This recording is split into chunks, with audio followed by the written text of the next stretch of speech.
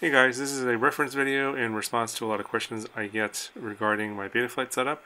This is stuff outside of PID tuning, so I'll have a separate video about PID tuning. This is just stuff that is uh, basically I put into every one of my drones.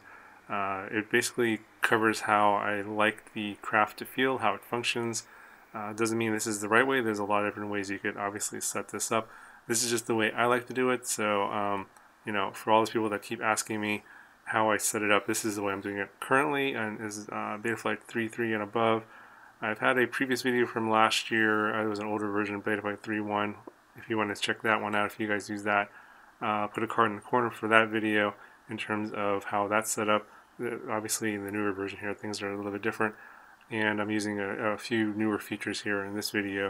If you guys want to know, you know, what I'm doing right now as of uh, May 2018, this is what I'm doing.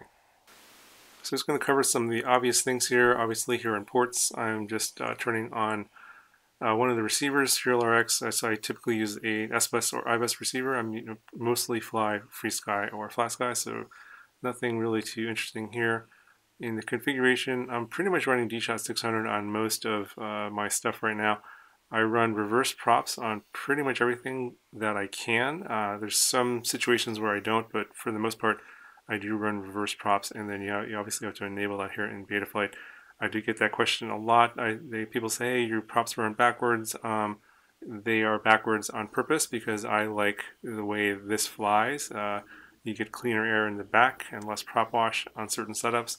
And in general, this I think flies better. Plus, I don't like having grass uh, cut up into my camera. If you have it uh, the normal way, the way props spin, the grass gets flown into your camera. And a lot, of times when you land in the grass and want to take off again, uh, your camera lens gets covered in, in just green grass, and that's no that's not very good. I'd rather have it go the other way, which is um, the prop spinning the opposite direction where the grass will go away from the camera lens instead of towards the camera lens. That's another reason why I set it up like this. So you guys are wondering why, this is the reason why. Now in this particular setup, I'm using an F4 flight controller, and in most cases I'm running 8K, 4K gyro with the accelerometer off. Uh, if I have a F3, I'm usually running uh, 4K, 4K with the accelerometer off, if you guys are wondering about that. Okay, so down here in other features, I don't usually have all this other stuff turned off. I don't use things like telemetry or LED strip or anything like that. Um, basically, those are the things I use here. I, I, use the air mode, I use the OSD, because most of my craft have Betaflight OSD, and then I turn on anti-gravity and the dynamic filter. Now under power and battery, I usually uh, drop the min voltage to 2.8 and the warning cell voltage to 3.0. These are not standard. This is what I use. Um, I typically uh, drain the batteries pretty low and a lot of times they do recover back up to 3.4, 3.5 volts. Um, obviously that's below storage voltage, so uh, you probably don't want to leave the battery in that state if you set it up like this. If you want to raise these up to 3.0 or 3.1 on the warning cell, that probably would be better for you. Um, if you do it this way, you do run the risk of damaging your batteries if you if you um, leave the batteries in a very low voltage state. So keep that in mind. But this is what I do. I do this because sometimes uh, you might get death rolls or the deep beeper goes off early, that kind of stuff. I just I get annoyed by that, so I just set the voltage just extremely low. I just watch the voltage in the OSD myself to manage that and land when I feel like it's necessary. Um, sometimes I end up do killing the battery if I don't pay attention for whatever reason and uh, let the voltage drop to extremely low levels. In that case, I try and re, you know charge the battery up to storage voltage right away when I get home. Uh, don't don't leave the battery in a very low voltage state. You'll you'll probably end up killing it, and it won't be you know, very useful after that if you keep doing that. So just keep that in mind. This is just what I do. I don't recommend that you do this, but this is just what I do. Okay, under PID tuning, um, obviously I've, I've, tuned this particular quad already, but usually I start from the default PIDs, whatever comes stock in Betaflight. The rates I like are uh, in, Super Ranger is 0.75 on pitch and roll, and sometimes I'll adjust I'll adjust these up or down based depending on the, the particular craft that I'm flying. Uh, but this is where I usually like to start at. Uh, under PID controller settings here, these are not standard numbers. I like 0.4 for uh, D set point weight and 0.8 for D set point transition, and uh, I can't really explain why I put it this way. I just like the way it feels. This is this basically has to do with the way the uh, the PID controller reacts to stick movements and how it feels, how the sticks feel to you when you're flying it. You may absolutely hate the way this feels. Some people might like it. You should just play around with this if you're not really sure what you like. Um, I, I didn't like the, the default PIDs uh, or the default uh, settings here, so I changed that. And this is what I use for pretty much everything. I will adjust them up or down depending upon, uh, you know, if it's a 5 inch or a 2.5 inch. I'll, if it feels kind of weird, I'll make adjustments to this uh, and just play with it until I, I feel like I like it. Uh, I like the way it feels. Now, I also have um, VBAT PID compensation turned on. Usually, be, that's because I run the battery down really low, and uh, when it gets really low, weird things start happening. And if you have this turned on, uh, it will compensate for the low voltage and adjust your PIDs dynamically so that you still have the same sort of uh, PID feel, uh, even at lower battery voltage. So this is why I have that turned on. But if you are um, more uh, battery conscious and don't want to you know, kill your batteries, you probably don't need this. Under anti-gravity gain, I usually, um, in this particular case, I'm at 4. Um, the default's 3, and I'm usually somewhere between 3 and 7, depending upon the particular craft. I just kind of play around with it. Obviously, this adjust, this, this number here will affect um, the way the I, I term is functioning. Uh, when uh, you do a lot of high throttle punch outs and you notice that the the craft is drifting, or if there's a lot of wind and it's drifting, you may need to increase this. Some some people say uh, you'd only need to increase this if you if uh, if the uh, throttle is really high, and then um, that's it will actually increase the I gains over here. But if you increase the I gains over here, it'll be it'll be high uh, both at the low end of the throttle and the high end of the throttle. This is just for increasing the I in the situations where you're doing like uh, full throttle punch outs, that kind of stuff. Uh, again, just play around the numbers. I usually am between 3 and 7.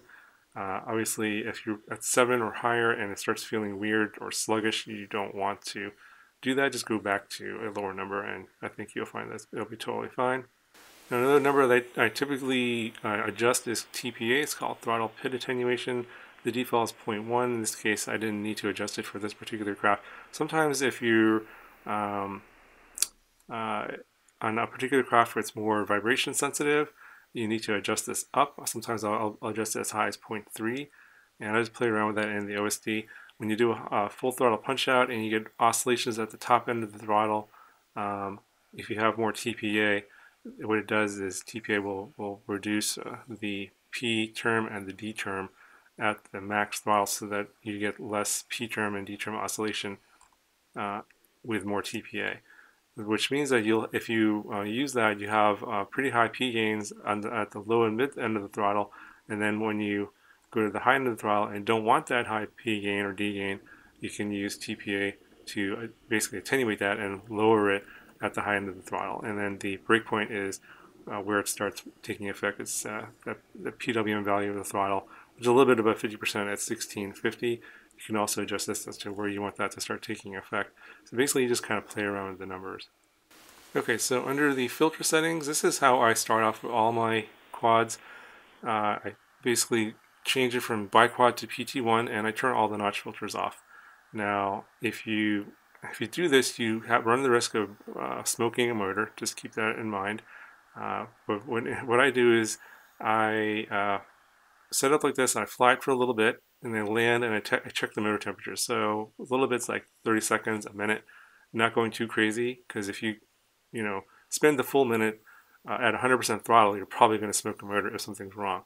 Uh, usually, if you build your quad right and you have good components, nothing's broken, like no bad ESCs, no broken props, no, bad motors, uh, you don't. You can turn all this off, and usually things will be fine.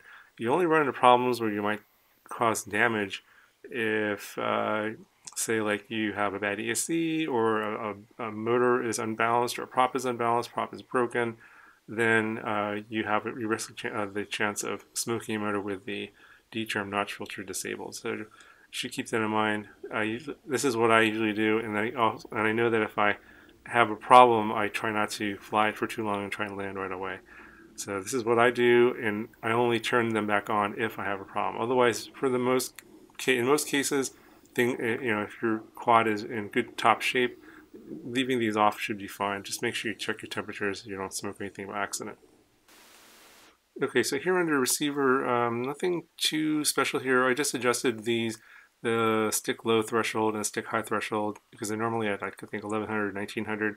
This is based on your radio and your transmitter uh, limits uh, and how you've calibrated your transmitter, that kind of stuff. So it's going to be specific to your setup. Uh, this is specific to my setup and my radio, so this may not apply to you, but these are the numbers I use, and I usually use about uh, two or three for deadband on RC deadband and yaw deadband.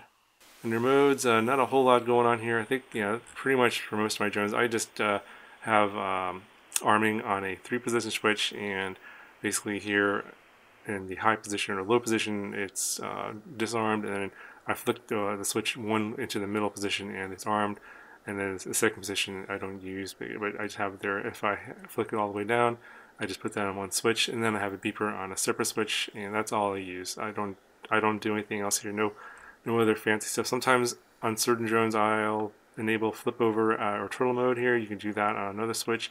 I usually just run uh, two aux channels on most of my drones. I don't do anything fancy. Okay, so here under OSD, this is the way I set up mine. I sometimes will put in RSSI over here on the right. I have throttle position, battery voltage, the craft name, and the uh, flight time, and those are all the things that I need. I don't want a lot of clutter on there, so you should turn a lot of that stuff off.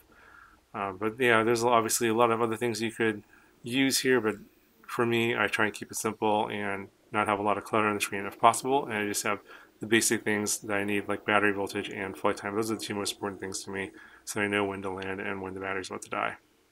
Okay, so that's going to do it for this video. Um, hopefully it answers all your questions about how I set up my drones.